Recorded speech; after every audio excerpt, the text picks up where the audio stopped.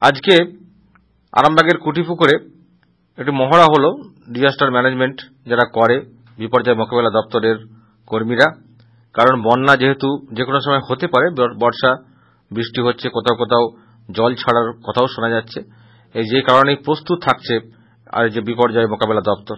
আমরা এই নিয়ে কথা বলব। আমার সঙ্গে ফোন লাইনে রয়েছে আমাদের প্রতিনিধি সুরাজ আলী খান। সুরাজ কেমন হলো মহড়া? দেখো প্রথমেই বলি যে গতকাল আমরা আরামবাগ টিভির মাধ্যমে দেখিয়েছি যে আরামবাগের ডাকেশ্বর নদী কেমন ভাবে ফুলে ফেপে উঠছে যে জল বাড়ছে।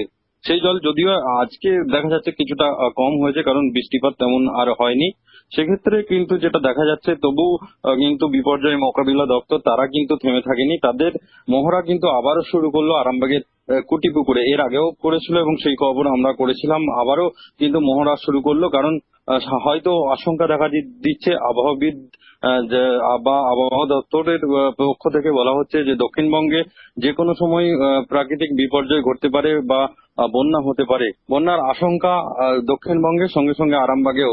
সেক্ষেত্রে তারা যেটা করছেন, যে তারা একটা মহড়া আবারও করছেন, কারণ যেসব টেকনিক্যাল বিষয়গুলো রয়েছে, যে মেশিনারি যেহেতু বিষয়, সেগুলো নিয়ে যে বোট রয়েছে বোটের কি সমস্যা রয়েছে কিনা, আদৌ শেষ পর্যায়ের প্রস্তুতি কিন্তু বলা যেতে পারে, অনেকটাই তারা আজকে সেরে নিলেন আরামবাগের কুটি পুকুরে এবং সঙ্গে সঙ্গে তার যে বোট রয়েছে, সেই বোটে করে তারা কিন্তু স্পিডে এবং আস্তে করে মানে দ্রুত গতি এবং গতি মন্থর করে তারা দেখে নিলেন, সঙ্গে সঙ্গে এমনও দেখলেন যে ওর মধ্যে লোড চাপিয়ে কয়েকজন মানুষকে চাপিয়েও কিন্তু তারা দেখে নিলেন, তাদের যে বোট রয়েছে, তাদের উদ্ধার কার্য যেভাবে করতে হয়, সেক্ষেত্রে কোনো অসুবিধা আছে কিনা?